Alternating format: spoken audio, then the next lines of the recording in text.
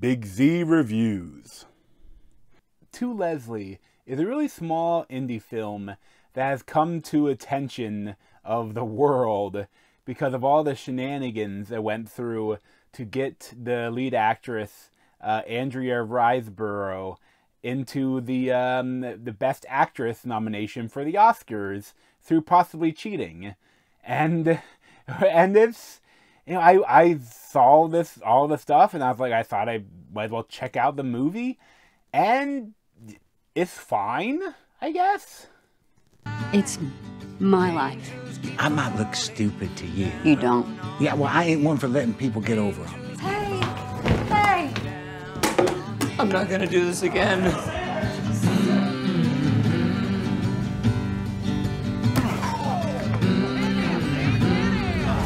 This was directed by Michael Morris and is written by Ryan Binaco, and they say it was based on a true story. And again, it, it stars Andrea Riseborough as uh, Leslie, and uh, there's um, Allison Janney and Stephen Root, uh, along with Marc Maron and uh, Andre Royo, and like this is just it's kind of been done so much but it's funny that like it's, it's I feel like they don't go far enough with the the bottom that she hits. Because like Leslie, she like years ago she won the small lottery, and then she wasted it all, and she's now like an alcoholic, and you know that becomes homeless, and uh, this that's just her story, and you keep watching like she like she goes to live with her son and like I think it's James La- uh, Landry Herbert as Pete, and um or maybe Owen Teague as James. I'm not sure. They both kind of look slightly alike, but um they like he he goes to live with him.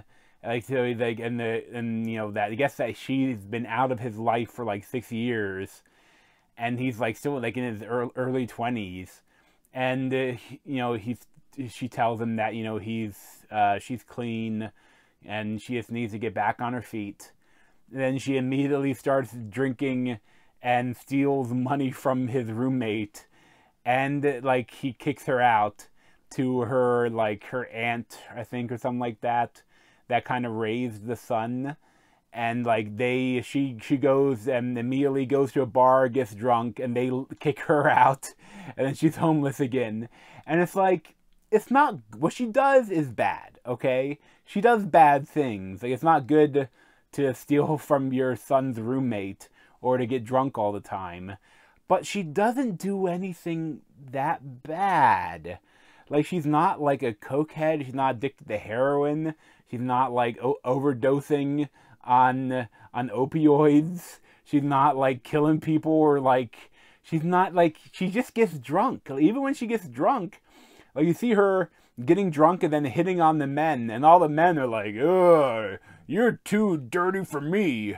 You know, it's like it, it, that's just that's all that happens, and they keep waiting for her hit hit bottom, and like her bottom is just that she's a homeless drunk, like, and that's not that's not good, but like she never does anything that bad.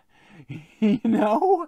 And then like Marc Maron kind of takes pity on her and like kind of like um, hires her to be like a cleaner at their at their hotel.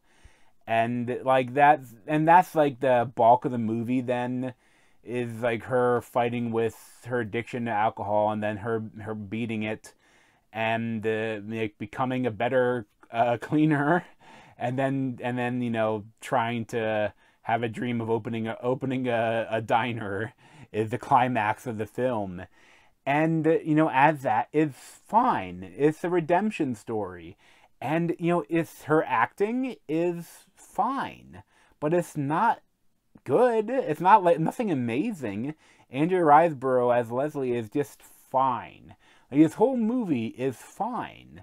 But you know the fact that she took nominations from two black women that gave amazing performances in Till and the Woman King, and like they in fact they like like she basically all of her white friends told all of her other white friends to vote for her because oh those other two they're locked they're locked in. They're definitely going to win. You don't need to vote you need to nominate them. You need to nominate um, my friend andrea riseborough. And like i can't believe it. If i was her how would you accept the nomination and go to the oscars? Like because i mean they're they have to make jokes about it. They have to make fun of her you know, horribly because like what she did was horrible. Even the the thing is, the reason they like the call came out that they're not um, getting rid of her nomination because technically she didn't do the illegal things, but sounds like some of the people that wrote emails telling all their friends to to not vote for the black woman. Uh, they, they they may lose their their membership for a year or something like that you know, they not not full time membership like Will Smith for slapping a guy, but it's still pretty bad. But you know, it's it's just the whole shenanigans of it for a film that made like nothing in the box office. And I, but the thing is, I mean, maybe they're right to do it because I never even heard of this film if it wouldn't be for this for the nomination. But it's like it's it's weird that it feels like a movie's like cheating because it's it's not bad, but it's not good. And I, I think the thing that like the people in, like Allison Janney uh, is such an uh, bitch to her. I see you next Tuesday to her, and like see like some of the bits that you know that she was the surrogate mom for her son, but like you never see what she does bad in like in the film. Like the worst thing she done she did was to leave her son, you know. But like they like that's like uh, it's such a a weak redemption arc even it's just a fine film. Like it's not bad, but I'll, I'll I won't remember it. You know, uh, long after I I um, finish editing this review. You know, it's just it's mediocre. You know, it's a seven out of ten. Six, I wouldn't recommend it, but it is gonna be interesting to see how they handle her at the Oscars. But uh, thanks for watching. If you want to see more of me, you can subscribe down below. Thanks.